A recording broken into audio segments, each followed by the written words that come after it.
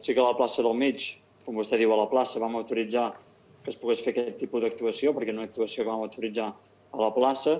En canvi, no vam autoritzar una actuació musical a la terrassa, especifico la terrassa perquè aquí ve la diferència. Uh, vam estar parlant amb els responsables de, del bar que, que comentava. Uh, nosaltres tenim una ordenança que recull que les terrasses no, no poden tenir música, i per tant el que no fem és autoritzar actuacions a la terrassa. El que sí que fem, quan alguna terrassa es troba en un emplaçament que, que, que reuneix els, els requisits perquè puguin tenir lloc aquestes actuacions de petit format, moltes d'elles acústiques, el que fem és una autorització a la plaça, no? però en cap cas el que fem és autorització dins de les terrasses perquè si no entraríem en contradicció amb la nostra pròpia ordenança.